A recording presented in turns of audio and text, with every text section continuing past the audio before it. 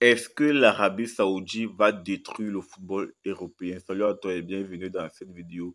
Dans cette vidéo, on va parler de l'Arabie Saoudite, les gars. Mais avant de commencer, si tu me découvres à travers cette vidéo, ici, nous, on parle de foot. Ici, nous, on est passionné par le foot. Donc, si tu es intéressé par la thématique, si la thématique te parle, n'hésite pas à t'abonner et d'activer la cloche de notification pour ne rien manquer des prochaines vidéos. Si c'est pour on est parti. Alors, les gars, est-ce que l'Arabie Saoudite détruire le football européen Moi, je pense que non. Pourquoi je pense que non?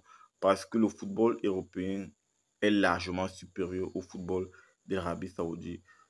Certes, on y voit des joueurs qui commencent, qui se qui s'exilent en Arabie Saoudite en masse, mais je ne pense pas que ça va, je ne pense pas que ça va euh, détrôner le football européen. Pourquoi je le pense? Parce que le football européen, tu as des clubs prestigieux comme le Real de Madrid, Barcelone, Bayern.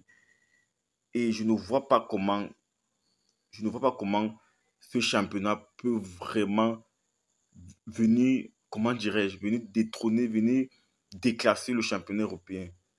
La Premier League surtout. La Premier League, c'est un championnat qui est vu partout, en Chine, aux États-Unis, même en Arabie Saoudite. Donc, l'Arabie Saoudite a beau mettre tous les moyens, ils ont beau mettre des choses en place, mais pour moi, il va falloir encore même 100 ans pour au moins rattraper l'écart. Je ne parle même pas de surclasser, rattraper rien que l'écart, il faut au moins 100 ans. Donc, moi, je ne suis pas inquiet pour le championnat européen. On va continuer à avoir notre championnat tranquillement, tranquillement. Euh, ceux qui partent en Arabie Saoudite, généralement, ce sont des joueurs en fin de carrière, généralement. Hein.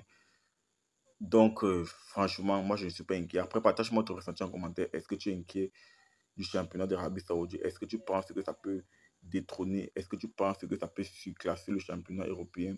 Est-ce que tu penses que le championnat européen est en danger? Dis-moi tout. Et si ce n'est pas encore fait, n'hésite pas de t'abonner et d'activer la cloche de notification pour ne rien manquer des prochaines vidéos. On se dit à très bientôt pour notre vidéo, les amis. Tchau, tchau.